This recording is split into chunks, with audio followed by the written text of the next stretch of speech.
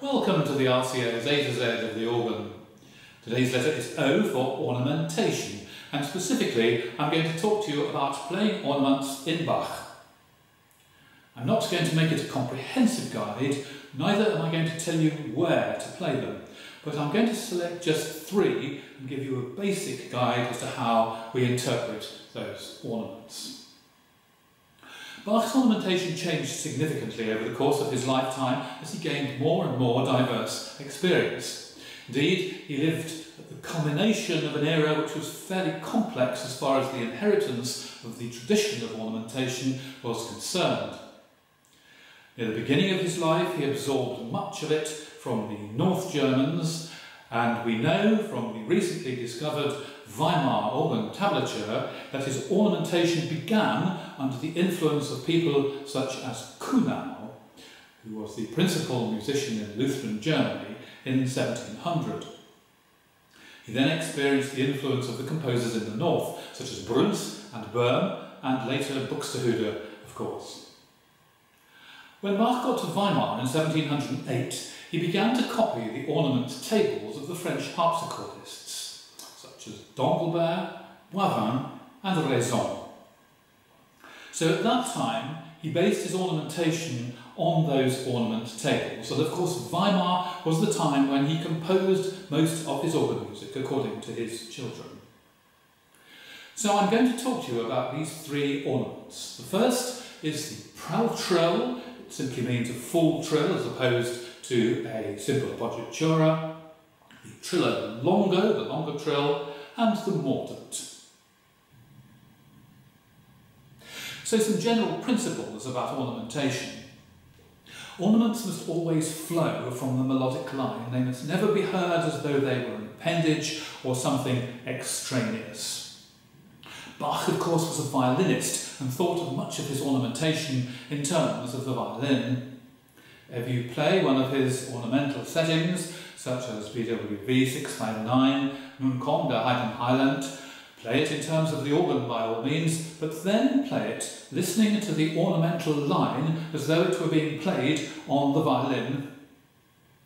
Everything we hear when we play Bach's ornamental preludes must be done in this way. So how we think of a Baroque ornament can be broken down into four parts. There's the commencement, the beginning of the trill, the corps, or the main body of the trill, the point d'arrêt, the point where you stop, and the termination, the termination, the last notes of it. So beginning, middle, point where you stop, and termination. All Baroque trills can be broken down into those four basic ingredients. So if we think first of all of the basic Pralltrill, we have the commencement as the first note, the main part of the trill, the point d'arrêt on the note itself, and the termination perhaps could actually. So the whole thing is... That's all it needs to be. Rapid, but not uncontrolled. Bach often actually writes this out in the notes of the music, nowhere more clearly than at the end of the Fugue in D minor from the second book of the 48 Preludes and Fugues. The concept of the trill beginning slowly is of critical importance. It should not begin with a crushed note. This indeed appeared later in the 18th century and was adopted by the French harpsichordist Wanda Landowska. It's an attractive Rococo ornament, but it has no place in the music of Bach. I'm referring to this. With the first note almost inaudible, can become very untidy very quickly.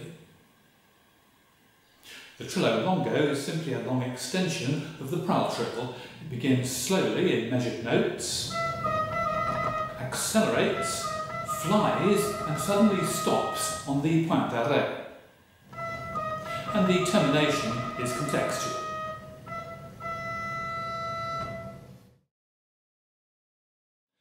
The simple mordent is a great deal easier to think of.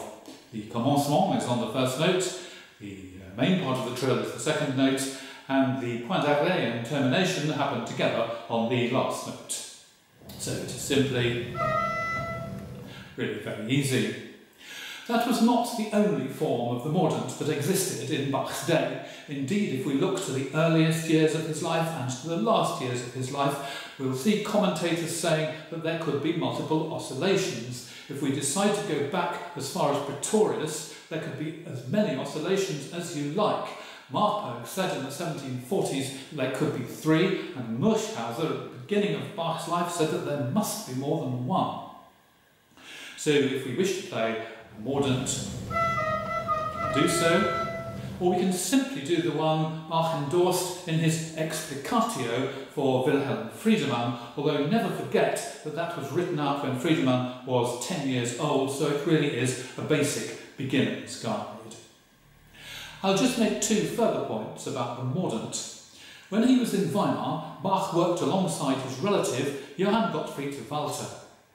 In 1707, Walther wrote a treatise on composition in which he talks about the mordent.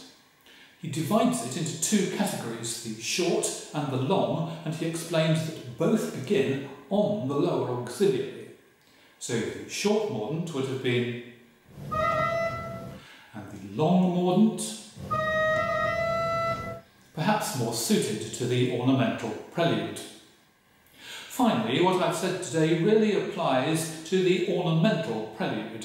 In more rapid tempi, the basic principles do still apply, but for instance, a Pralltrill may begin on the note itself. C.P. Bach referred to this as a half trill or a Hilfsmittel. Mordent works in the same way upside down. So here now is a performance of the beginning of Erbarm dich mein, O Herr Gott, WW 721, played on the organ of the Wenzelskirche in Naumburg, applying some of the principles that I've talked about today. Thank you, and look out for the next video in this series, the letter P.